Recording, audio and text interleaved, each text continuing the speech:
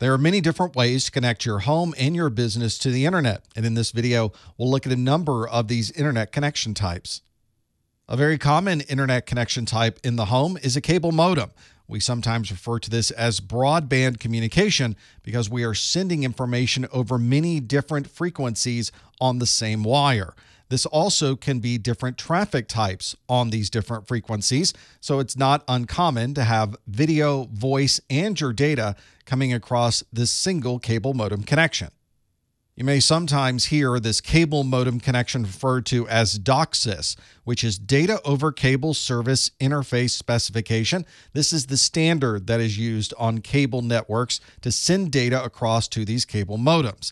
This is what we consider high speed networking. These cable networks can go very high speeds. Very commonly, you'll find 4 to 250 megabits per second, but you can get up to gigabit speeds running on these cable modem connections. The cable company isn't the only one providing internet connectivity. Very commonly, your local telephone company is providing connectivity through DSL connections. This is technically ADSL for asymmetric digital subscriber line. This uses your existing telephone lines, which makes it very easy to simply add a modem into your home and you're connected to the internet. One of the challenges you have with DSL is that you have to be somewhat close to a central office or a CO. The download speed that you're going to have will be directly proportional to how far away you are from that central office. And the limitation is somewhere around 10,000 feet, which is not an incredibly long distance when you consider how dispersed our different homes are away from these central offices. You'll generally get 52 megabits per second down and 16 megabits per second upstream, but these numbers can vary widely depending on how far away you are from the CO. As you begin to move farther away from the CO, you'll start to see these speeds get slower and slower. Another type of internet connectivity we don't see much any longer are dial up connections. These are using our existing analog voice telephone lines and sending data communication over that connection. You'll commonly see 56 kilobits per second modems. This is significantly slower than a DSL connection or a cable modem connection, although you can compress the data a bit to get speeds up to 320 kilobits per second. Obviously, when you compare this relative to cable modem or DSL, these speeds are relatively slow, which makes using a dial up connection difficult to scale, especially if you need to connect many different people to the internet. Although you no longer tend to find a dial up connection at home, it's very common to use them in large enterprise environments. If you lose the connection to a remote site over a cable connection or a DSL, you might be using these traditional analog dial up modems to provide some connectivity back to those sites. We've been using fiber in the enterprise for many years to provide internet connectivity, and we're starting to see more fiber rolled out to the home. This provides very high speed networking and allows us to send many different services over that single fiber. So, voice connectivity, our video connections, and our data can all be running over a single fiber to our house. This increase in available bandwidth also brings a number of new services. You have a lot more HD channel connectivity than you might have with a copper connected service. And this also allows you to send and transfer a lot of different types of data out to the cloud. You might also see enhanced capabilities with DVR and video capabilities using this additional bandwidth. Our internet connectivity doesn't have to be limited to connectivity on Earth. We can sometimes connect to the internet using satellites that are in space. This satellite networking allows us to communicate directly to a satellite, which then sends that data to a station down on Earth and then reverses that to get the data back to us. This has, as you might expect, a relatively high cost compared to traditional terrestrial networking, such as cable modem or DSL connectivity.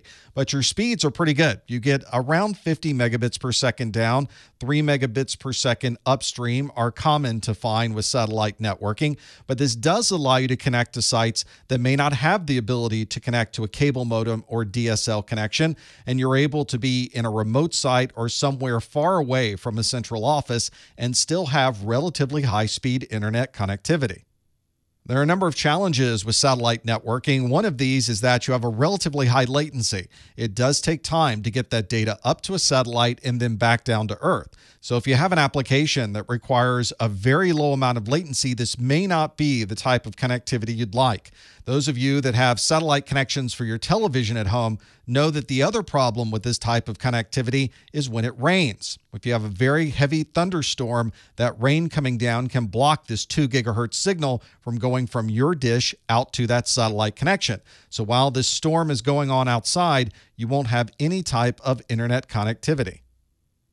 An older style of internet connectivity, which still has some limited functionality in today's markets, is ISDN. It stands for Integrated Services Digital Network.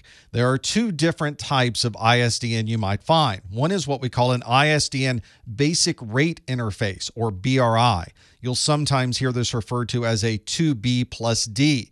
This is referring to the two bearer channels, which are actually sending data over these ISDN connections, and the single signaling channel, or D channel. These two bearer channels are 64 kilobits. So we're not talking about high speed connectivity that you might have with cable modem or DSL, but this is certainly better than using a dial up connection.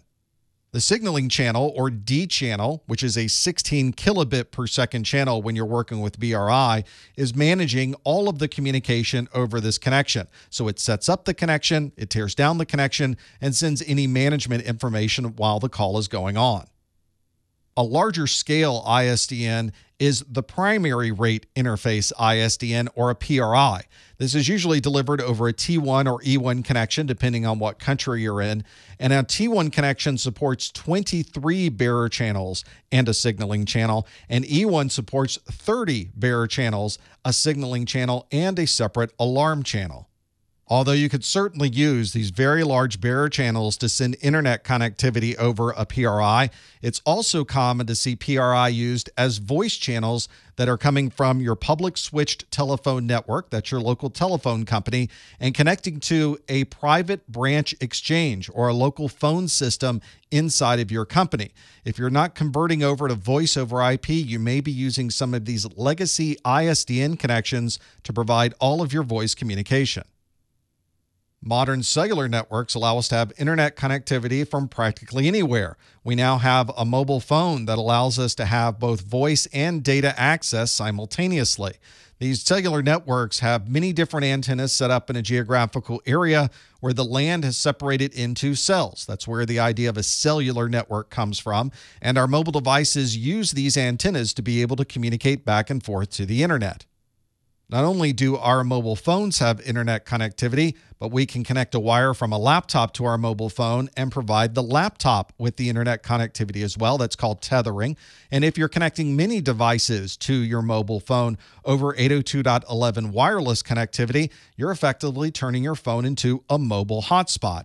This way, anyone in your local area is able to use your internet connectivity on your phone to provide internet access for all of your devices in your metropolitan area, you may have the option of a line of sight internet service. This is a wireless internet service that's able to provide access over a very wide geographical area. This is a line of sight communication, so there's usually antennas placed very high that are able to communicate to many different homes simultaneously in one geographical area. There are also options for non line of sight. This would usually be slower speeds using lower frequencies, and a very common type of line of sight service is WiMAX. This is the worldwide interoperability for microwave access. This provides wireless high speed internet connectivity by simply putting an antenna outside of house and accessing those WiMAX antennas in your area.